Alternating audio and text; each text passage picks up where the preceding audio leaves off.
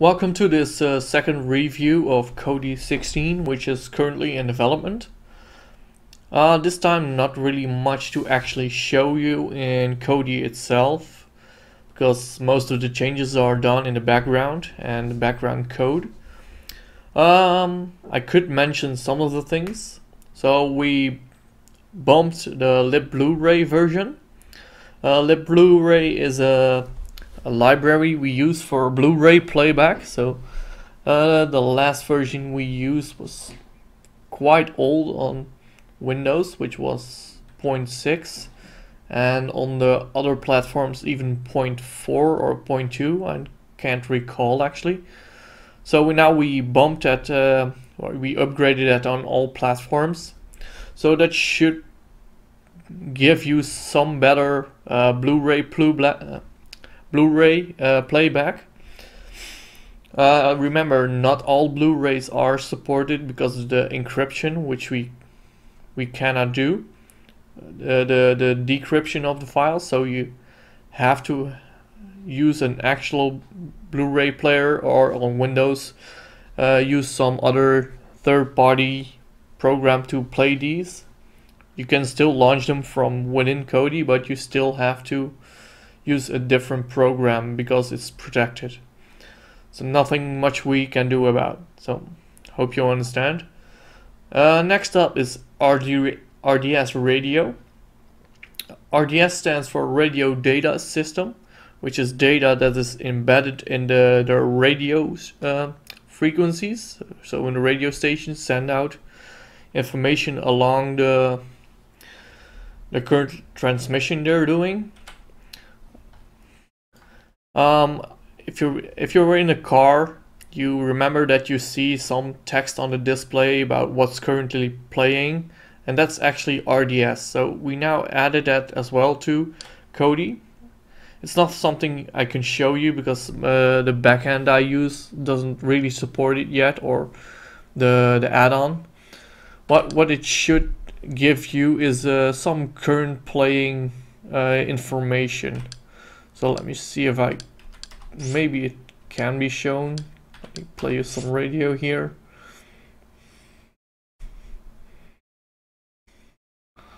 Oh, apparently I can't not play anything at the moment, so.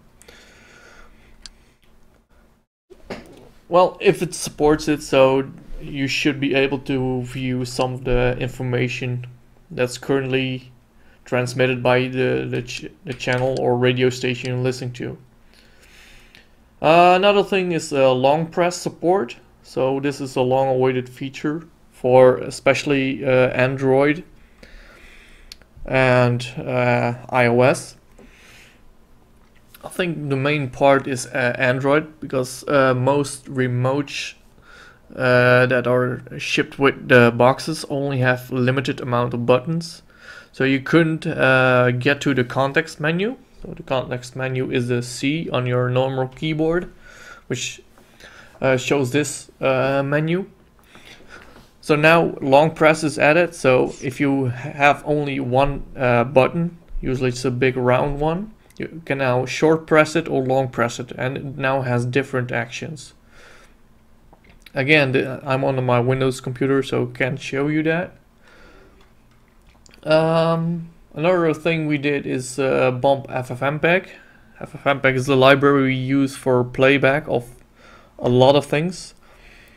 It's uh, it's our main library for video playback, audio playback, which supports all the codecs so that you don't have to install any additional codecs alongside Kodi. It just works. Um, the we now have added 2.8 which should have the H265 the HEVC uh, code codec playback. So that's a really nice feature. Another thing I can show you in settings is stereoscopic so the 3D effect for the user interface.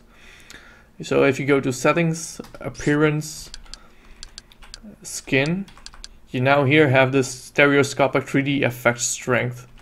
So you can actually choose which strength you want on your interface, uh, so more or less depth. So uh, as I don't have a 3D installed, so I'm not able to show you. What I can show you is a series recording for a TV show. So this requires a new uh, uh, front end add-on for the PVR and the backend should also support it. So it's, it's both ways. And you need a new version of Kodi and some other things I can't recall at the moment. So let's go to TV guide here you see some of the channels I have. It's not much but it works for now. Um, so let me show you some recurring. Ah, this is recurring uh, show. So if I now hit the context menu I have we previously had record so now we also have add custom timer.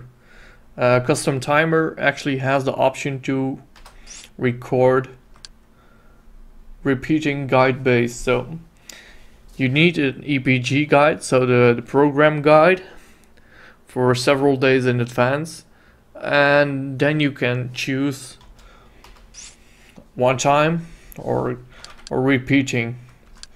So you can also uh, trigger a one time based on the guide so if the program shifts a bit and the guide updates you the recording will start later or earlier. And here we have the repeating guide base. So if you choose this one, you should always be in time for the recording. So it will happen automatically. And here we have all any of the other options that were already available. So this is the new option for series recording. So add custom timer. Okay, that's it. And now we go to another thing. In the past, we couldn't uh, decode uh, DTS HD, so the high audio, high definition of the DTS. So now we added a library which is able to do that for us. So if your receiver does not support DTS HD pass-through, you can now uh, decode it to a PCM stream, which is able to play back by almost any device.